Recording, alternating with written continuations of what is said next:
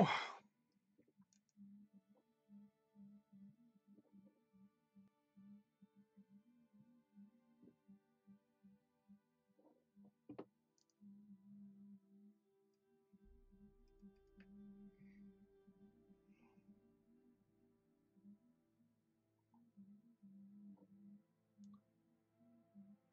we go.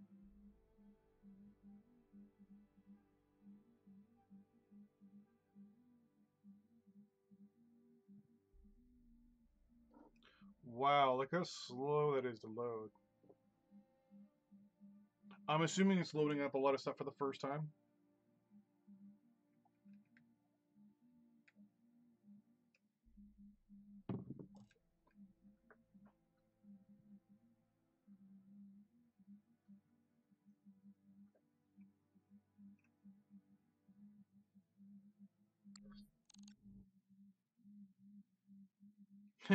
there you go.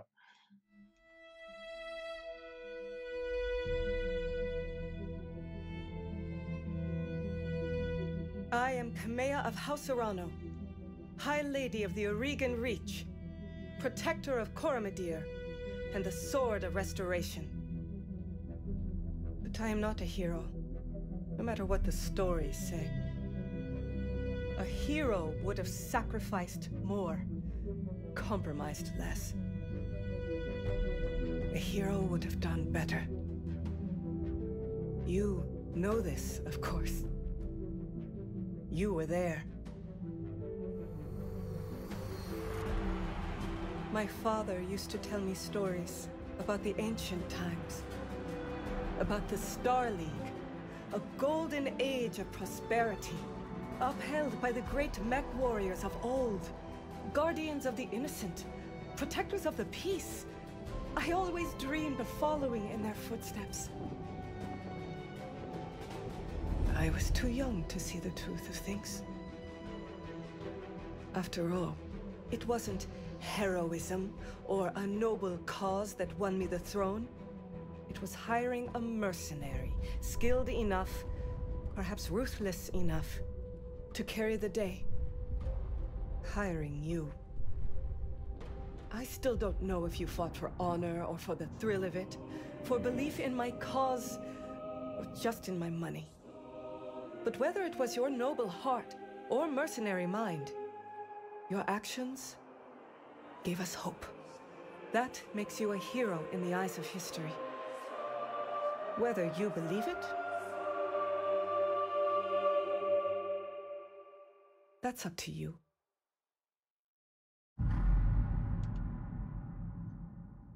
So for what I've been told, uh, you don't have to do the campaign, but it helps. but you have to at least get to a certain point in the campaign to, uh, to unlock the Argo, which is basically your, your ship. Prior to that, you get to pay down loans and stuff. So I do have a unit name already picked out. Uh, where is it? So I'm going with the Rasalhague colors.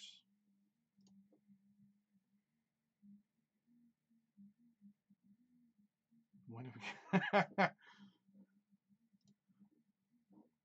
so when you guys see the name, you're going to be understanding why I'm going with, uh, well, I mean, I, am a member of a free Rasalhague uh, unit, so, or what. So, this is where we set up a person. Reach, the Aurigan Reach is a small kingdom in the Rimward periphery, region in the space that lies in the outskirts of the more densely colonized, colonized inner sphere. It is home of the Aurigan Coalition, federation, uh, federation organized around a uh, parliamentary monarchy, basically an elected leader, an elected uh, king. So it's kind of like uh, Alderaan from Star Wars, where they vote on the king or queen, um, and ruled by the Arano family. Uh, for three generations under the, the rule of House Arano, the Aurigan Coalition uh, remained a relatively peaceful corner of the periphery baseball. And this is where the story begins. So, theoretically, you don't have to do the campaign missions. Um, it was understood before that they would lose after a certain amount of time, and then they would just kind of fade into the into the, the background. But from the sounds of it, now it's just there. So you don't have to do it, but you know it unlocks like huge swaths of the map for you if you do it. I think it's fifty percent of the map is locked until you do it. All right. Decades ago, your family came to the Reach from. So the Free Rasalhague Republic is not here. Closest we got is the Kurita. Um,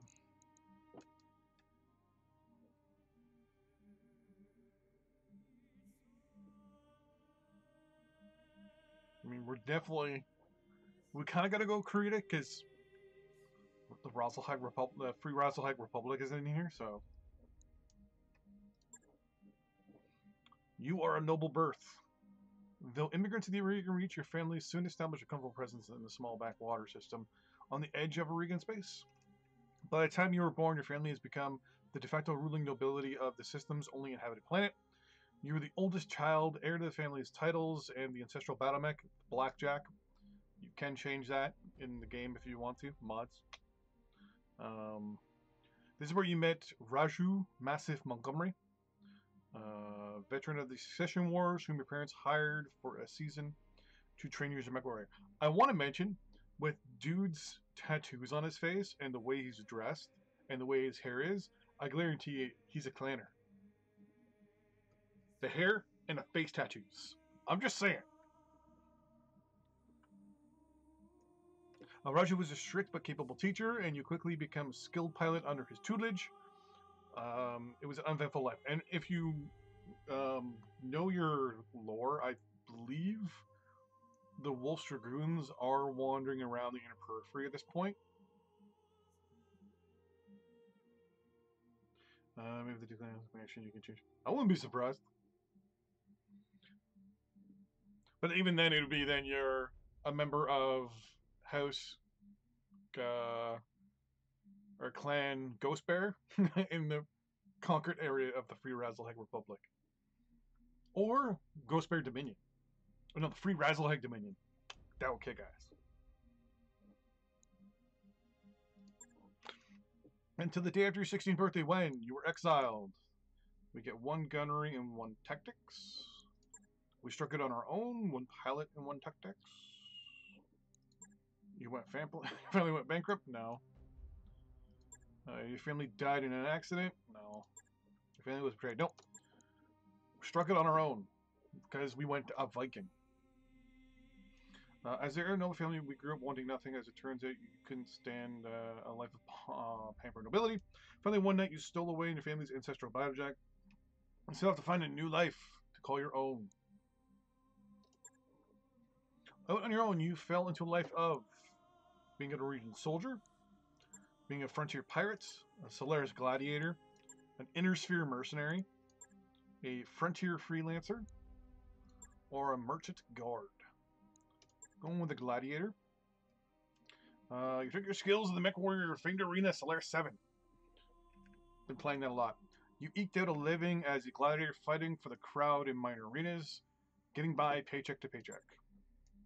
Till years later, you cross the paths of Raju Montgomery once again. Uh, you were a low-level champion down on your luck and one bad fight away from the gutter until Raju heard about you. He trekked all his way to Solaris to offer you passage back to the Aurigan Reach and a job for House Arano as the Royal Guard. And hopefully he has a better chair than I do. See, look at it. The hair, shaved here, shaved here. Those might be scars. Uh, so you find yourself reunited with your old mentor, preparing for your ancestral blackjack for guard duty on the coronation day of Lady Kamea Arano.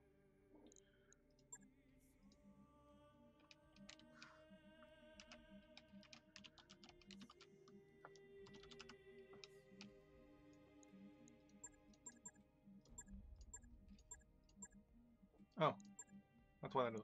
They?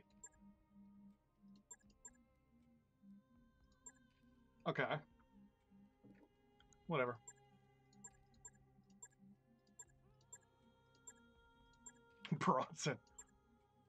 I'm a lighter. Alright, so hold on.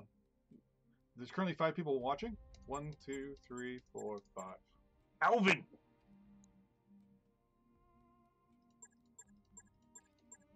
Alvin Santiago.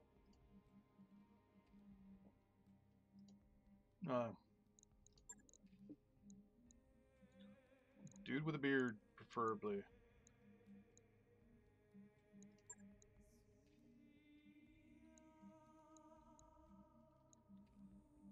Oh, there we go.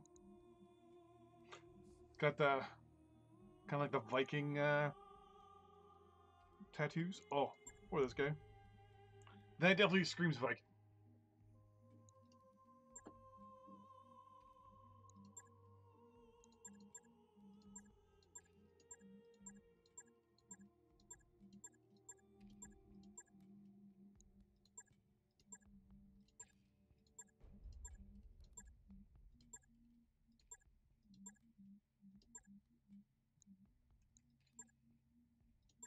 Butterfly tattoo on your head. Nothing screams scary like a butterfly tattoo. There we go. Uh, how about no scar?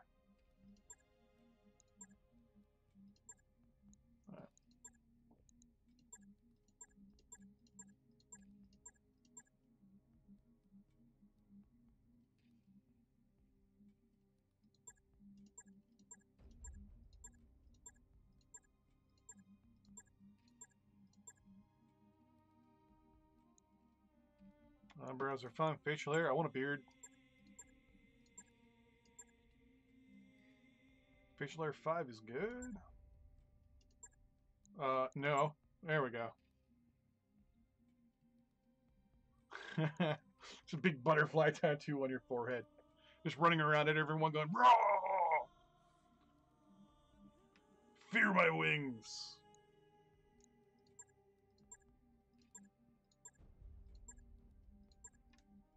Okay, he look. I want him to look sinister.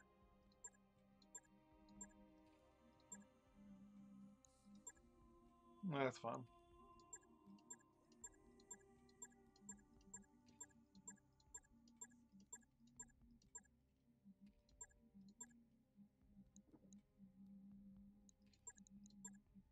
Black hair, black tips, eyes. I wish you have one eye a different color. Skin's fine.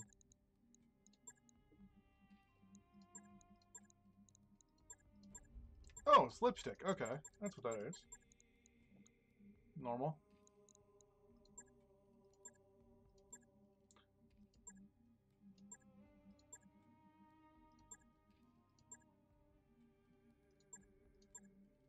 Eh, black's fine.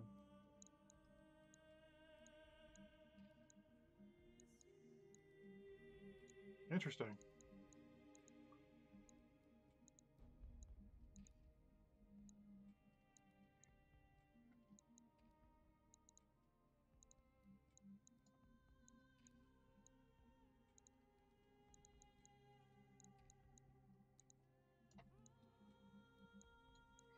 So this is just changing of the colors of the clothes. For green,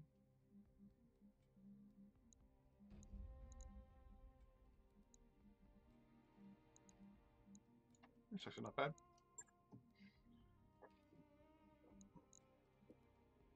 So Alvin Santiago. That does not sound. There we go.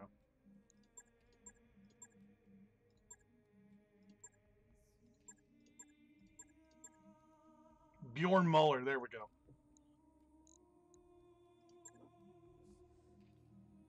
So three gunnery, three piloting, three tactics, and two guts. So we get an extra pilot tactics and extra gunnery.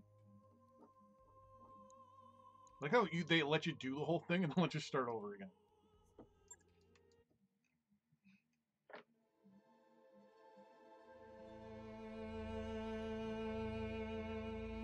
High Lord, uh, Runners, 10, you reach the crossroads. Once prosperous, it is now a kingdom in decline, surrounded by powerful neighbors. Victorians. Lady Santiago Espinosa, Sir Lord, uh, brother-in-law of the High Lord, is convinced that a slow-moving council of founding houses must be dissolved. His proposed directive would conscript their house guard and centralize power under his throne. However, the High Lord heir of the noble Lady Kamea Arano is determined to rebuild the reach with it, transforming blah blah blah, converts to the directive, and uh, uh, please do consider. But, uh, more lady, uh, captain of the guard, Master Montgomery, for sport, for safely to her coronation in Cordia City. So technically, the tutorial, in my eyes, and from what I've seen on the streams, is up until the point where you get, uh, I think, the Argo. Everything prior to that is it's hemming you into a certain area on the map and everything. Coronation Day.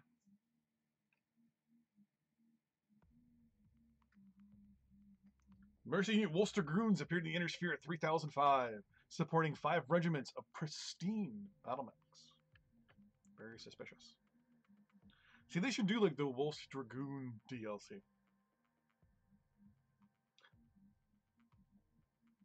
Now, mind you, the the the mechs they use were like blackjack. There were no actual clan mechs that they used. Every mech they used were current Inner Sphere versions. Copy.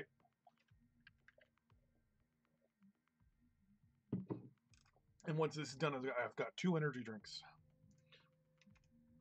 Here we go. Command interface initiated.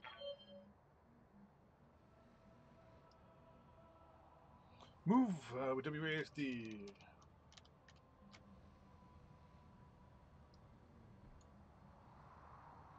Oh, I'm oh, okay, Adrian. Uh, I had Espinosa re- the refit yards rush the repairs on your blackjack. Looks like all in one piece. We should run a diagnostic on it and make sure standard field tests. You know the drill. More importantly, though, I want to tell you more about the job you, I brought you out here to do. Now, do me a favor and get that battle mech moving.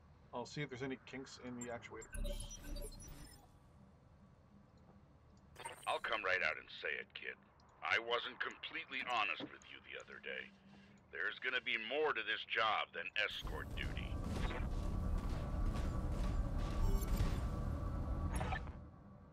I brought you here because there's something wrong with the capital. It's been too quiet since Lord High Tam- uh, I guess, uh, funeral. I'm worried about Leia Committee's safety during the coronation. Well, it looks like your actuators check out. Let's conduct a weapons test. Uh, target one of these burnt out old urban mechs and open fire. So, Like I was saying, everyone I I've can't seen play prove through, anything. But my gut tells me something's off. this is the only time trust their I've instincts. seen urban mechs. Only time Urbies have been spotted in the in the campaign, or even in any missions. Um, now I don't have multi-targeting, so nah, he'll be fine. All weapons committed.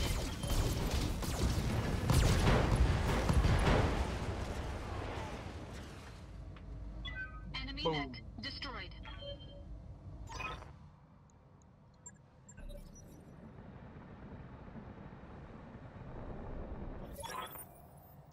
Training level 13 years old, uh, naive at times. Uh, serious safety in Korea City. Arrest easier once she's in the capital with a cousin beside her. Uh, Lady Victoria, she's also be training under me for the single season. Has already shaped herself into a fine, strong spec board you've seen. Reminds me a lot of you. Uh, we're not checking third computer. There, there, uh, turns. Uh, take out. We're gonna go shot. Kamea's like a daughter to me. And her late father, High Lord Tamati, was a good friend. Oh, it won't let me do that. What? Oh. Oh, okay.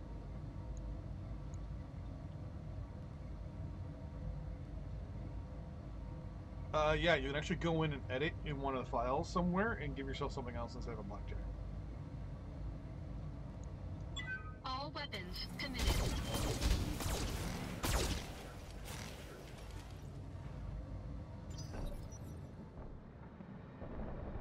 Victoria pulls no punches, but she's been a loyal companion to Kamea since they were kids. Aside from you, there's no one I'd rather have by my side in a fight. So the rear armor only has seven in one structure, so theoretically, I should be able to do this. Targeting rear armor.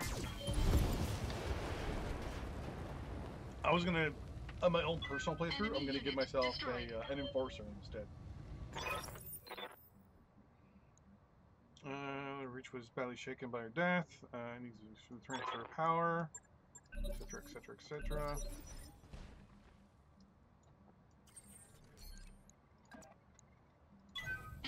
Engaging jump jets. Enemy detected. Yeah, I was afraid of that. Jump jets build a lot of heat, and that was more than your engine could handle. Head on into that water. We need to get you cooled off. How'd that overheat my mech?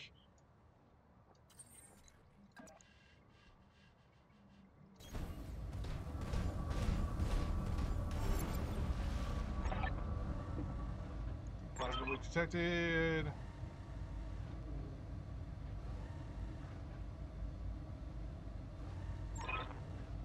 Uh, complaining about the maintenance.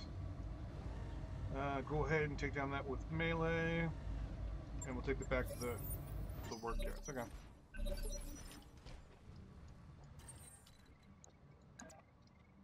Uh, I would prefer to be able to attack it from a different angle. Not so melee will do 40 damage. We're coming at him from the left, and he only has oh. Hey, it's a target dummy. Oh yeah, target dummy. I'm like, that's gonna do more than. Mean so if you damage a part, it'll transfer to the next part. From what I've been told.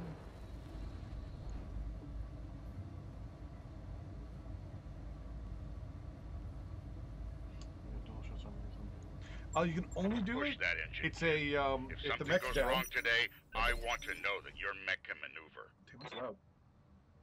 If the mech is down prone, like if it's uh, if you knock it down, you can do a called shot.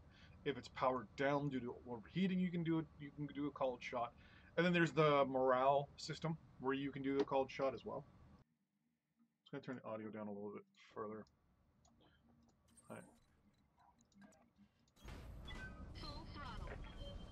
Yeah, those are the only times you can do called shots. It's those three three times, I think. Where'd that shot come from? Oh.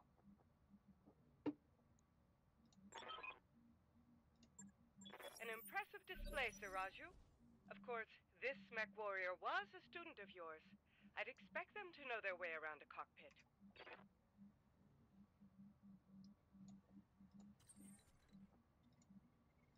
Oh, I can't actually shoot anybody. Alright, well, let's just sprint in then. Full throttle.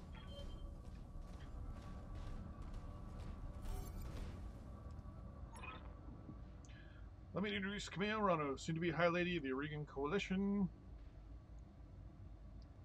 Is Lady Victoria on this channel? For the time being, my father is summoning me to the Picton Ducks. I have a fleet inspection and a tour of the family refit yards to uh, preside over before the coronation. Behold the responsibilities of an old daughter, a font of tedium that never runs dry. Hello, Mr. Sam. I know the feeling, Kazan. By the time tomorrow, it will be responsible for the entire reach. Um, give my best to your father. Don't be late for the tournament. Gambling dens are already taking bets on how long it'll take me to cripple that customized monstrosity pilot. Laughing, uh, Bulwark's cousin, but the only victory we celebrate is mine. Uh, you may be ascending to the throne today, but my Kaga is more than a match for the family room that you call a battle mech. In the arena, I reign supreme. Uh, no idea what that mech is. So obviously, it's the name of the mech. What the name of the mech is, we don't know. Or what the actual uh, variant it is, I don't know. Uh, we'll see, cousin. We'll see. At any rate, I'll see you at the tourney grounds. Sir Raju, uh, I'm ready to go when you are. Overland, along the Cormorant Road as the Arano tradition. Alright, come here. Look at there. And uh, Mission First mission done. successful.